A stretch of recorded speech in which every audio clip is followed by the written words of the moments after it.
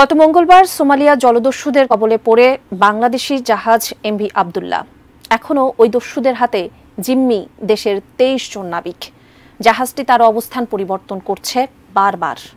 এরই মধ্যে ভারতীয় নৌবাহিনীর সাথে গোলাগুলির ঘটনার পর ছড়িয়ে পড়ে জাহাজ উদ্ধারের খবর। কিন্তু আসলেও কি উদ্ধার হয়েছে, নাকি সবটাই গুজব?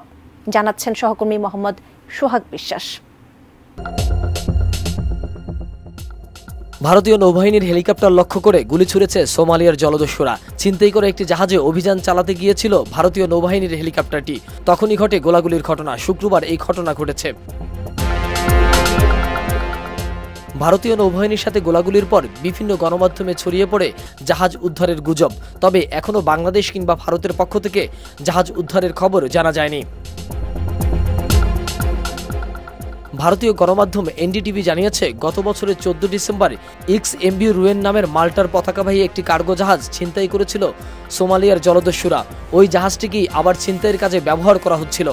ধারণা করা হচ্ছে, বাংলাদেশি জাহাজ এমভি আবদুল্লাহ ছিনতাইয়ের কাজে এই জাহাজটি ব্যবহার করছিল সোমালিয়ার জলদস্যুরা। এই এক্স এমবি রুয়েনকে আটকাতে অভিযান চালিয়েছিল ভারতের নৌবাহিনী। তারা একটি যুদ্ধজাহাজ দিয়ে ছিনতাইকৃত জাহাজটি আটকাতে সক্ষম হন। এরপর ভারতীয় নৌবাহিনীর একটি হেলিকপ্টার এমবি রুয়েনের কাছে যায়। তখন সেটিকে লক্ষ্য করে গুলি ছড়া হয়। এ ঘটনায় আট সেকেন্ডের একটি ভিডিও সামাজিক যোগাযোগ মাধ্যম এক্সে প্রকাশ করেছে ভারতীয় নৌবাহিনী।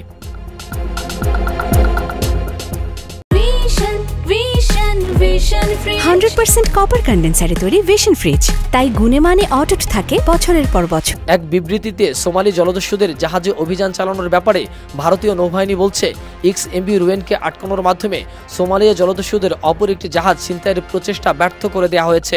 এমবি রুয়েনকে গত বছরের চোদ্দ ডিসেম্বর ছিনতাই করে সোমালিয়া জলদস্যুরা।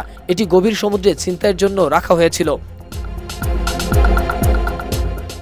বিবৃতিতে বলা হয়েছে, জাহাজটিকে ভারতীয় নৌবাহিনী পনেরো মার্চ আটকায়। তখন এক্স এমভি রুয়েনের ছাদ থেকে দস্যুরা জাহাজে সরাসরি গুলি ছড়ে। এখন জাহাজটিকে আন্তর্জাতিক আইন অনুযায়ী আত্মরক্ষা এবং দস্যুতা বিরোধী কাজ করছে।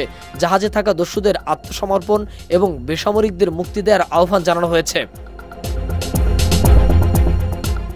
ভারত মহাসাগর থেকে গত মঙ্গলবার বারো মার্চ বাংলাদেশি পতাকাবাহী জাহাজ এমবি আবদুল্লাহ ছিনতাই করে সোমালিয়ার জলদস্যুরা।